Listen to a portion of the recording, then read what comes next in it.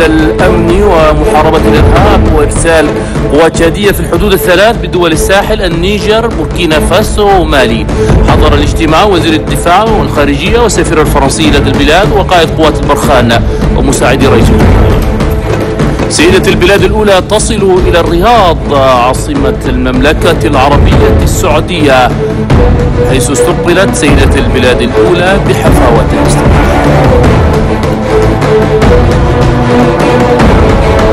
الشرطة الوطنية تعرض قاتل امرأة قبل أيام في طريقها إلى الكنيسة. الأحبة الكرام السيدات والسادة السلام عليكم ورحمة الله تعالى وبركاته. أهلا بكم في تقديم النشرة الإخبارية العربية من العاصمة أنجمنا شهد صباح اليوم قصر الجمهورية الاجتماع الثاني حول الأمن ومحاربة الإرهاب وكيفية إرسال قوات التشادية في المناطق الحدودية في كل من النيجر وبوركينا فاسو ومالي حيث ترأس الاجتماع فخامة رئيس الجمهورية إدريس ديبيتنو. تقرير رشاد حسن طه. هذا الاجتماع يجيء تماشيا مع متطلبات قمة بوا الفرنسية التي جمعت قادة الدول الساحل الخمس وفرنسا مؤخرا وذلك بغرض إرسال قوات جادية في حدود الدول الثلاث مالي النيجر وبوركينا فاسو تلك المنطقة التي ينشط فيها الإرهابيين. اجتماع ترأسه شخصيا فخامة رئيس الجمهورية إدريس ديبيتنو والذي درس ثلاث نقاط وصفها السفير الفرنسي لدى البلاد بلتران كوشيري بالمهمة. مؤكدا تعاون بلاده لدول الساحل والتصدي للإرهاب مثمنا دور فخامة رئيس الجمهورية إدريس ديبيتنو في هذا المجال. كما أشار السفير الفرنسي لدى البلاد إلى دعم الأمن الداخلي المتمثل في تدريب قوات الدفاع والأمن في إطار التعاون بين فرنسا وتشاد. الوزير المنتدب لدى رئاسة الجمهورية المكلف بالدفاع الوطني الأمن العام والمحاربين القدامى وضحايا الحرب محمد بالي صلاح أكد بأنه فقد تم دراسة ما توصلت إليه الأطراف المعنية حول إرسال قوات عسكرية تشادية في الحدود بتلك الدول بغرض التصدي للإرهاب وكسر شوكتهم بدول الساحل. واليوم ده deuxième réunion مع président de la République chef de l'État وال question ال évoquée ده كما تعرفوا question هنا envoi هنا contingent tchadien في zone هنا في zone centre والنيجر وده بعد réunion هنا اول avancement كتير بيجي عرفنا الناس العدد نرسلهم وال moyens حقهم كله عرفنا وين ال moyens يمرق وفي ان شاء الله فرصه قريب الناس يمشوا فرصه فرصه حقنا يمشوا في النيجر والثاني كلمنا في مشاكل الحدود. مشاكل هنا immigration والمشاكل هنا هنا sécurité intérieure وفي ده كله شاركنا وهجينا وشلنا القرارات وشلنا ال orientations. وأضاف الوزير بأن الاجتماع درس أيضا مختلف الوسائل المصاحبة لعملية إرسال القوات التشادية وسبل التصدي لهجرة الشباب غير شرعية ومكافحة الفساد والمخدرات فضلا عن دعم التنمية ورفع كفاءات الشباب والنساء وفتح فرص عمل لهم. وآخر point كلمنا في ال développement تعرف ما فيش sécurité بدون développement كل المشاكل هنا الإرهاب أو بيان هنا sécurité أو بيان هنا أو بيان الناس هنا émigrer عشان ال développement تكلمنا في الموضوع هنا كيف ال partenaires surtout coalition هنا alliance يعملوا projets عشان يساعدوا الشباب يساعدوا العوين يساعدوا الناس الكبار. يذكر بأن تشاد ضمن دول الساحل الخمس وفرنسا التي تعهدت في قمة بوا الفرنسية بأنه يجب حشد قوات تشادية إضافية وإرسالها إلى حدود الدول الثلاث مالي النيجر وبوركينا فاسو. وصلت بحمد الله وسلامته صباح اليوم سيدة البلاد الأولى ورئيسة مؤسسة القلب الكبير هند ديبيتنو إلى العاصمة السعودية الرياض. وذلك في إطار الشراكة التي ترمي إليها مؤسسة القلب الكبير مع المنظمات والهيئات والمؤسسة السعودية لا سيما مؤسسة الملك سلمان بن عبد العزيز للعون الإنساني والإغاثة.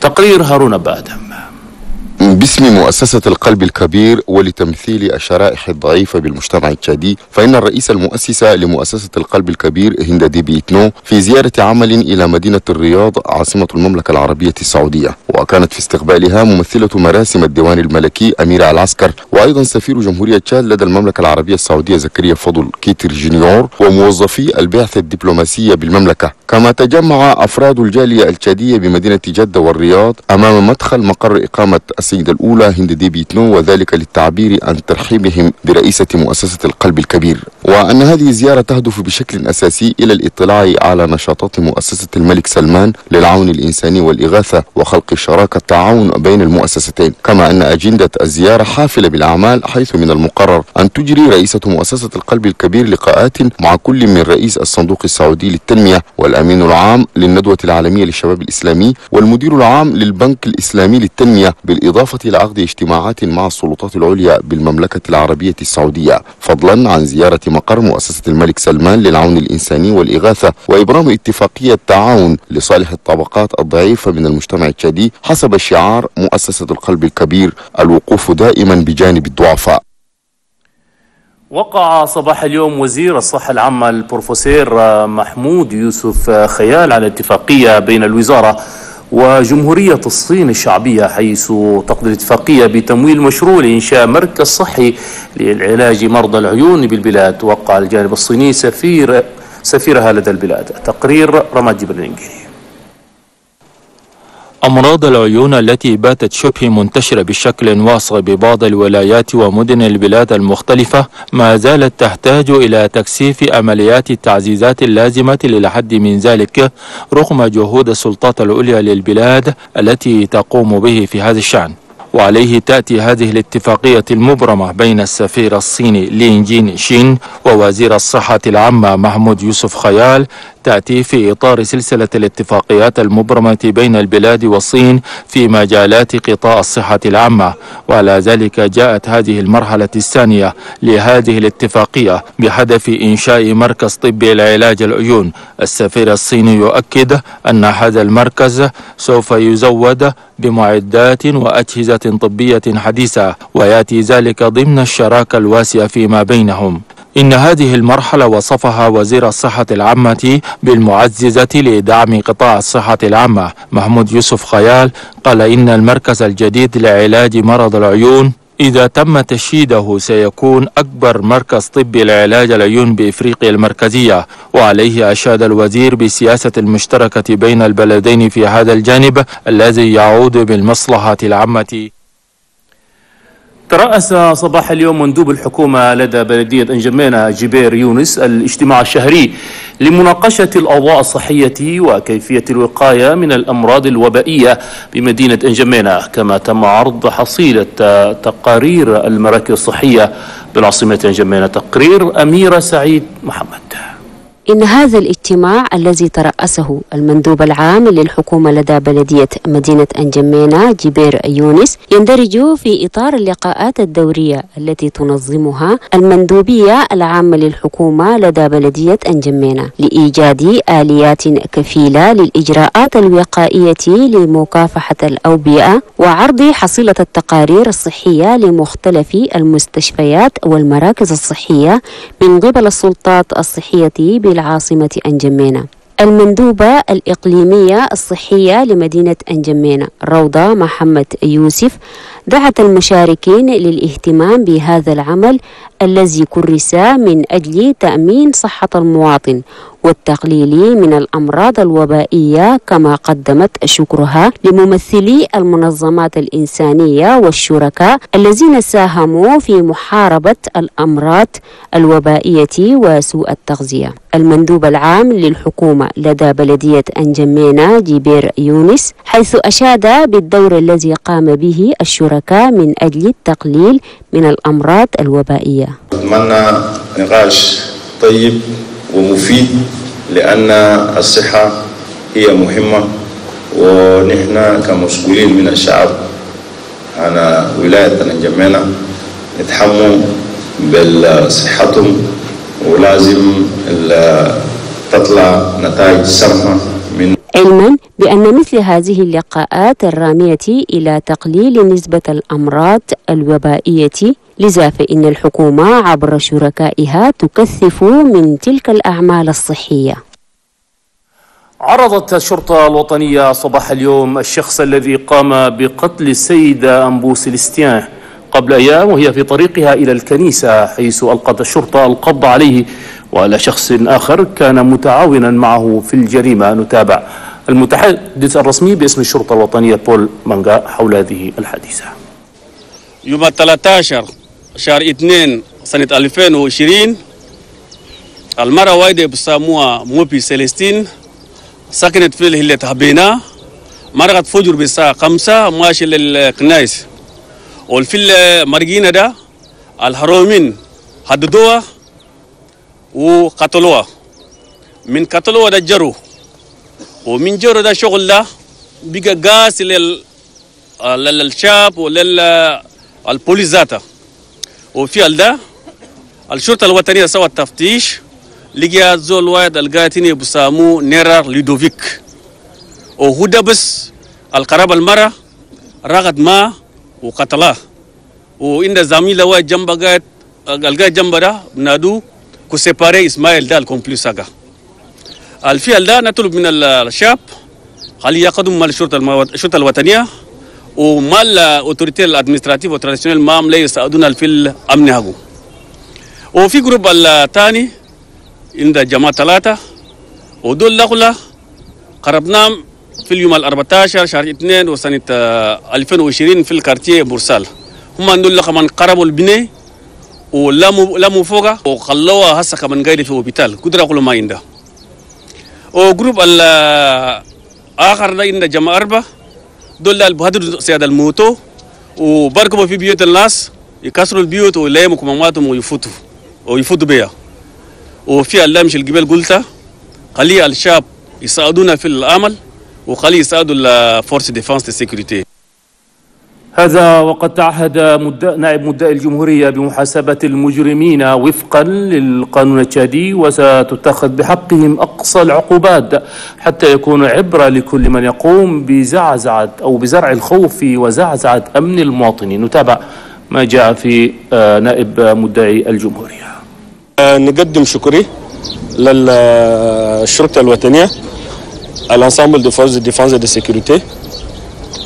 اليوم ال délinquances في جميعنا شال ampleur سو جهودهم كوربو الناس خدتهم في disposition هنا en tant que procureur de la République représentant de, نحقق القانون فوقهم إن شاء الله. عشان ال société ينجمع من ال délinquance دول ناس يتحرون النوم يتحروا شاب النوم يتحروا المساكين النوم زول ولا يقدر يروح ولا ولا ولا.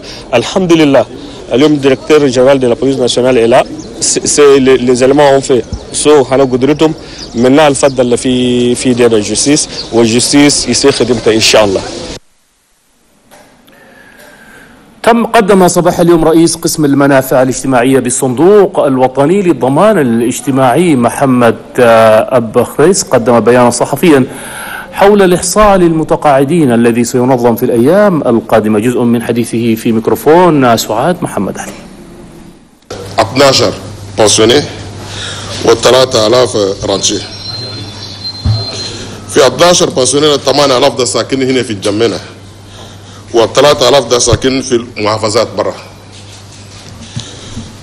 في رانشيت 3286 رانشيرة ساكنين في الجمينة و430 رانشيرة ساكنين في المحافظات سيربس يدير التعدد التعدد الريسانسما و بلا ريسانسما ده كله نشورو بس معنا أثبت. يعني الرولما بيومتريك. ده عشان شنو؟ عشان أي نار ندخله حقوقها بس. كان حقوقها والاوبراسيون ببدأ من يوم 22 شهر 2 في basarda. Alo operation bu kurfi mundu pala o bangor. Wo bidio mo shari arba yabda fi abeshe wo fi mongo bat kuma na na al carte. Le ayi pensionné wa ayi ranje o na zakirku sarit alfen o sitaja kulu sen recensement wala إن شاء الله في جمعنا يكمل في قسم شهر ستة التقى سفير جمهورية إثيوبيا الفيدرالية الديمقراطية أمين عبد القادر مع الجالية الإثيوبية المقيمة بالبلاد حيث استمع السفير للصعوبات التي تواجه الجالية وطلب منهم احترام قوانين البلد المضيف. لهم تقرير عبد الله الجابر بكر. بعد أن قدم أوراق اعتماده رسميا كسفيرا فوق العادة مطلق الصلاحية لبلاده في تشاد. السفير الإثيوبي سعادة عمين عبد القادر سفير جمهورية إثيوبيا الفيدرالية الديمقراطية يجتمع مع الجالية الإثيوبية في البلاد. هذا وبعد التعريف طرحت كل الصعوبات التي تواجه الجالية والتي تتمثل في تجديد الجوازات والحصول على التأشيرة وكذا رسوم الإقامة. وخلال ساعات من اللقاء طمن السفير أمين عبد القادر الجالية الإثيوبية على أنه سيعمل ما بوسعه من أجل حل كل المشاكل التي تقف أمامهم وأن السفارة ستمهد لهم الطريق وتفتح لهم الفرص للقدوم إلى تشاد من أجل الاستثمار. ودعاهم إلى احترام قوانين البلد المضيف. هذا وعقب خروجه من اللقاء صرح سعادة السفير أمين عبد القادر على أن الشعبين التشادي والإثيوبي شعب واحد في بلدين مختلفين. وأن هذا اللقاء جاء نتيجة لتحسين أوضاع الجالية الإثيوبية بالبلاد. العادات والتقاليد هي سيدة الموقف في هذه المناسبة حيث تم عرض الأكلات الشعبية والقهوة الإثيوبية. من جانبهم أفراد الجالية الإثيوبية بالبلاد عبروا عن فرحتهم بهذا اللقاء وأكدوا بأنهم بين أيادي آمنة. يلا إحنا قاعدين كويس ما عندنا مشاكل ولا مشاكل. إحنا قاعدين زي بلدنا قاعدين كويسين. أنا ما عندنا مشاكل إحنا قاعدين مرتاحين عندنا قاعدين زي مش اخوان أخوان بس تشاد وإثيوبيا أخوان. علما بأن سفير جمهورية إثيوبيا الفيدرالية الديمقراطية سعادة أمين عبد القادر سفيرا مفوضا فوق العادة مطلق صلاحية لبلاده في كل من تشاد والنيجر والجزائر حيث يتخذ من الجزائر مقرا لإقامته. تواصل عضوة المكتب السياسي الوطني لحزب الحركة الوطنية للإنقاذ السيدة غالية أحمد. حملتها التوعوية بولاية سيلا حيث حول الاستعدادات للمراحل الانتخابية المقبلة. تقرير الحسين النور يوسف.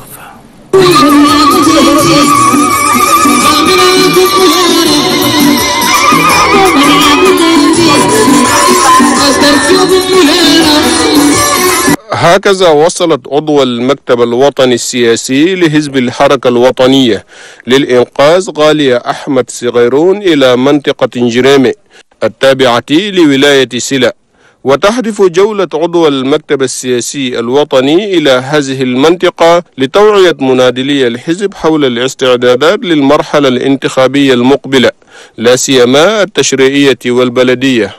المحطة الثانية لعضو المكتب السياسي الوطني لحزب الحركة الوطنية للإنقاذ غالية أحمد صغيرون هي منطقة مودينا. حيث استطاعت من خلال هذا اللقاء الجماهيري تقديم رسالتها للمناضلين مبينة أهداف البئسة التي تؤكد مساندة رئيس الجمهورية.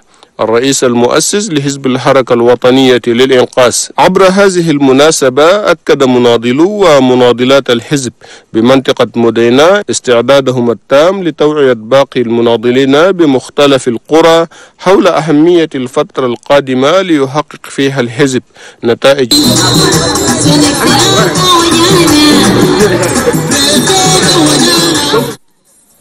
جرت يوم أمس بمدينة مونغو بولاية جيرام مناسبة تنصيب أعضاء المكاتب الفرعية لحزب الحركة الوطنية للإنقاذ حيث ترأس المناسبة الأمين التنفيذي للمكتب البلدي للحزب بمدينة مونغو. تقرير حسن جد عمر.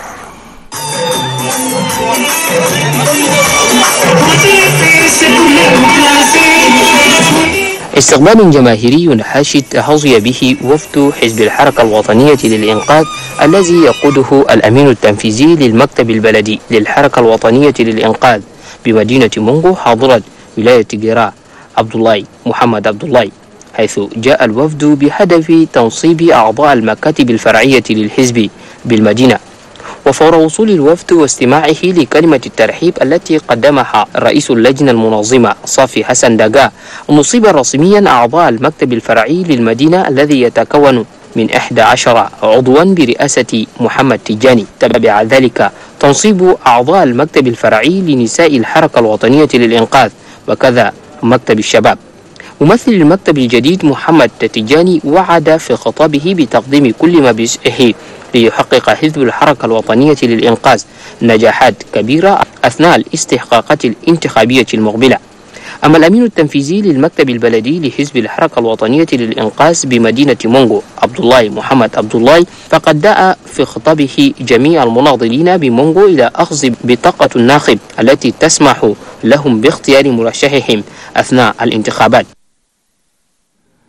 قدمت مؤسسة القلب الكبير مقاعد دراسية للمؤسسات المدرسية بولاية مويوك بشرقة حيث استلم هذه المقاعد الدراسية والي ولاية مويوك بشرق. تقرير بحر الدين عبد الشافي توت بحضور والي ولاية مايوكي بشرق أحمد طه محمد عبد الله قدمت مؤسسة القلب الكبير ألف مقعد دراسي. لأكثر من عشرة آلاف طالب وطالبة من طلاب المرحلة الثانوية والإعدادية والابتدائية بولاية مايوكي بشرق.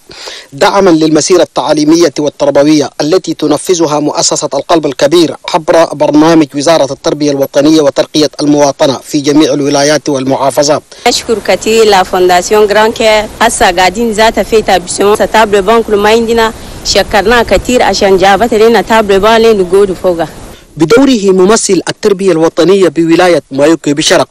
ملادي حوني أكد عزمه لتوصيل المقاعد إلى جميع المؤسسات التعليمية داخل الولاية. وبهذا أشار رئيس البعثة عيسى محمد مهدي عن الهدف من تقديم الدعم للمؤسسات التعليمية في البلاد. جبنا ألف table البان لبنغور ألف table-banc ده هسه كل ما شفتهم ده جاهزين وسلمناهم رسميا لل للمسؤولين عن عن التعليم. سياسة مؤسسة الغلب الكبير ده تدخل في سياسة رئيس الجمهورية القايم ليل ونهار في سياسة التعليم بصفة عامة.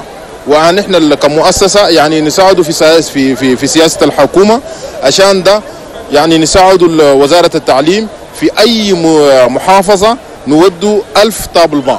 بدوره والي ولاية مايوكي بشرق أحمد طه محمد عبد الله قدم شكره لسيدة البلاد الأولى هند ديبي إتنو على تكرمها بهذا الدعم الإنساني لسكان الولاية. اليوم أننا قاعدين في تسليم هنا ألف كتاب البان. هنا في بروفنس حقنا. وده ما في بروفنس حقنا بس. في تشاد كل 23 ريجيون ده. مدام هند ديبي قال كي يا لكن هم قاعد قوتي ده. ما عديل أنا كونتريبيوشن أنا قاعد جوبله يا لكن هم قاعد قوتي ما في كلهم قاعد قوت في تابل ده بس. تدور الإشارة إلى أن هذه المساعدات والخدمات الإنسانية التي تنفذها المؤسسة لتشمل جميع الولايات في كافة الأراضي الوطنية لتحسين المسيرة التعليمية. وفي نهاية الحفل فقد وقع المعنيون بهذا البرنامج التربوي على دفتر مهام التسليم والتسلم أمام السلطات المحلية. نظمت المندوبية الصحية بالبطحاء اجتماعا للجنتها الإدارية وذلك بهدف تقييم العمل. شارك في الاجتماع كل المسؤولين الصحيين والشركاء المانحين والفنيين. المناسبة ترأسها الأمين العام لولاية البطحاء صالح حقار تيجاني تقرير. محمد طاهر جبرين الحر. كإطار للتبادل والمتابعة للأنشطة التي نفذت خلال العام المنصرم فإن اجتماع اللجنة الإدارية للمندوبية الصحية يسمح للمشاركين من المسؤولين الصحيين السلطات الإدارية والشركاء الفنيين والمانحين لتقييم الحصيلة وإعداد الخطة المستقبلية للعام الحالي. في مستهل اللقاء قال المندوب الصحي بالبطحاء دكتور فوكسيا إيلي إن الصحة هي أهم أولويات الحكومة وشركائها. مستشهدا بالعديد من الاستثمارات في هذا المجال. لا سيما توظيف أطباء جدد هذا العام وإرسال 21 منهم للعمل في ولاية البطحاء وأدرك المندوب بأنه رغم هذه الجهود لا زالت المؤشرات الصحية ضعيفة في البطحاء كثير من الأطفال لم يتلقوا كل اللقاحات التطعيمية وإن نسبة المتابعة الصحية للنساء الحوامل جد ضعيفة. عند إطلاقه لعام أعمال الاجتماع. قال الأمين العام لولاية البطحاء صالح كارتجاني إن التحديات التي تقف عارضة ويجب رفعها جد كبيرة من أجل توفير الخدمات الصحية للمواطنين داعيا المشاركين إلى التداول بكل شفافية حول كل المسائل المتعلقة بكيفية تحسين الظروف الصحية للمواطنين. واختتم الأمين العام حديثه بامتداح دور الشركاء الماليين والفنيين الذين يعملون جنبا إلى جنب مع الحكومة التشادية. ترأس عضو المكتب السياسي الوطني لحزب الحركة الوطنية للإنقاذ جان سواري. ترأس مناسبة انضمام عدد من عدد كبير من مناضلي بعض الأحزاب السياسية المعارضة إلى صفوف حزب الحركة الوطنية للإنقاذ بمركز إداري تكم البالغ التابع لمقاطعة مون إيلي. نتابع تقرير محمد السلي غلام ابتهاجات وسرور استهل بها سكان قرية قلم وين التابعة لمركز إداري تيكن بمقاطعة مونت إيلي مناسبة انضمام مناضلي بعض الأحزاب السياسية المعارضة والمتمثلة في حزب الاتحاد الوطني من أجل الديمقراطية والتجديد UNDR وحزبي ال RNDT Le Réveil والكابسير إلى الحزب الجامع حزب الحركة الوطنية للإنقاذ. أكثر من 500 مناضل ومناضلة كانوا في صفوف المعارضة سابقا ينضمون رسميا إلى ال MPS من خلال هذه المناسبة التي حضر فيها عضو المكتب السياسي الوطني جايانغ سواري والوفد المرافق له. وبعد مداخلة بعض من أعيان المنطقة ومسؤوليها السياسيين إلى جانب أعضاء وفد الحركة الوطنية للإنقاذ إلى مقاطعة مونت إيلي بولاية مايوكي بي الشرقي. وتأكيد ممثل المنضمين إلى الموت في سبيل تحقيق التنمية الاجتماعية والاقتصادية التي تسعى الحركة الوطنية للإنقاذ إلى تحقيقها. قال عضو المكتب السياسي الوطني جايانغ سواري بأن الحملات التوعوية التي يقوم بها المناضلون في مختلف مناطق ولاية مايوكي بي الشرقي قد أتت أكلها. وخير دليل على ذلك انضمام هذا العدد الذي لا يستهان به في ظل الاستعدادات للانتخابات المرتقبة. موجها المنضمين إلى بذل قصارى جهدهم من أجل رفع جميع التحديات التي تعيق تحقيق ذلك. هذا كما انضم عدد كبير من أبناء قرية مارا التابعة أيضا لمركز إداري تيكيم الذين كانوا يناضلون بجانب الأحزاب المعارضة لا سيما حزب الاتحاد الوطني من أجل الديمقراطية والتجديد وحزب الإرنديتي ليريفي إلى صفوف الحركة الوطنية للإنقاذ التي وجدوا فيها الجدية في تحقيق الأهداف التي ترمي إلى تنمية منطقتهم. من حيث العلاج والتعليم. نفس الرسائل التوعوية التي يقدمها أعضاء الوفد الذي يقوده عضو المكتب السياسي الوطني للحركة الوطنية للإنقاذ جايانغ سواري كانت حاضرة في هذه المناسبة التي توجت بهذه الفرحة العارمة.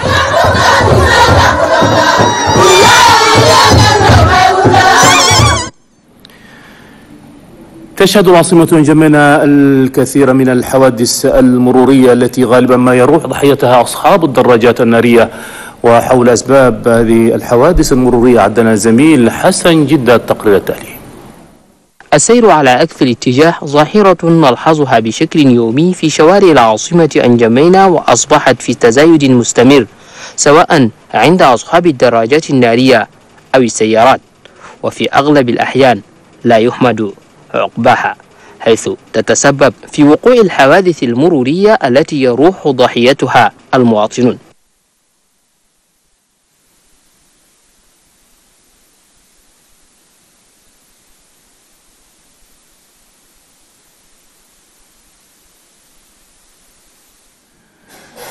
إذا نعتذر لهذا الخلل الفني في هذه المادة الإخبارية.